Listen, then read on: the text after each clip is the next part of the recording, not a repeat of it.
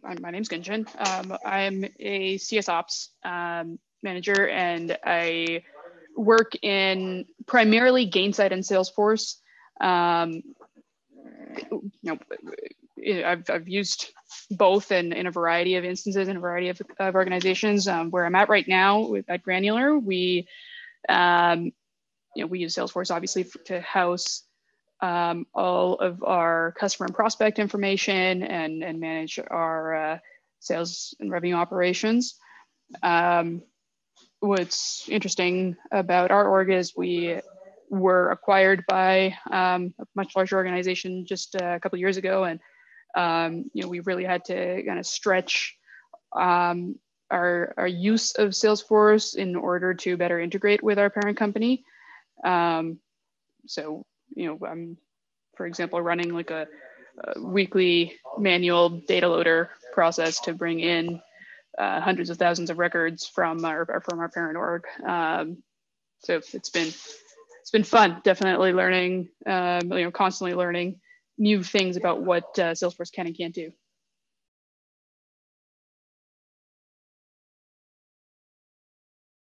Depends whether you're an admin or an end user and it always depends on the instance like it always depends on the environment. I mean ours is definitely difficult to use um, for both end users and admins. Um, and you know we're currently ongoing a, a, bit of a process to try to make it easier to use for the end user. Um, it's it's not an easy system to learn.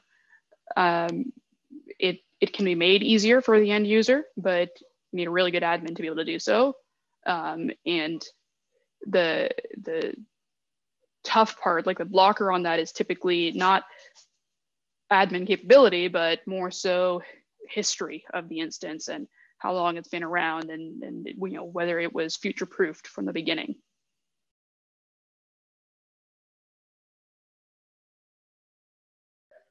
Like custom objects is, is probably the biggest one. Um, you know, just being able to customize um, for your own needs to really, really build it out based on um, what, what the business actually needs, as opposed to just relying on um, standard objects like account, opportunity, contact. Um, you know, you can, you can really get, uh, get crazy with it.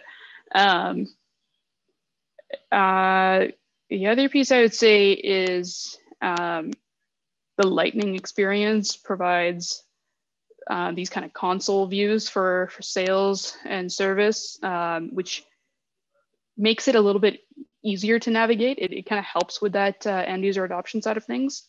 Um, and then the other piece, which um, I'm not too familiar with just yet, but um, like I'm, I, I, like I, I know how it works um, and I've seen it in action, is uh, Einstein Einstein Analytics. Uh, I think that's got a lot of power behind it.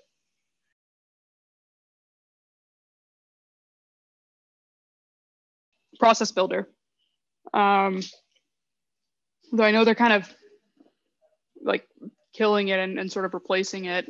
Um, it. It's it's really hard to navigate Process Builder right now. I mean, as an admin, I can't even go in and search for a particular process builder. Like I have to sort the items. Um, I can't just go like there's no search bar to say okay, give me all the process builders that have like this keyword in it.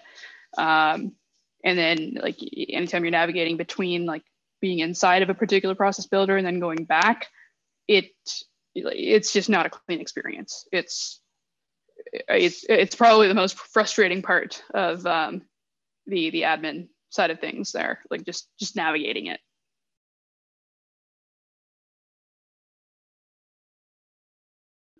It's a lot more robust. There's a lot more that's possible. There's a lot more off the shelf integrations.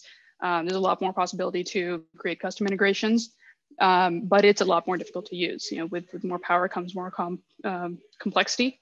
Um, you know, other systems are often built a lot simpler, but they get the they get the job done for you know they get they get 80% of the work done.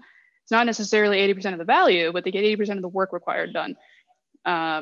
Uh, you just just a lot quicker and it's it's easier to adopt. Um, I I like I would feel a lot more comfortable kind of passing off smaller tasks to like junior admins, for example, um, in other systems. But in Salesforce, like you got to be really, really specific with handing off any any kind of minor task to someone who's not too familiar.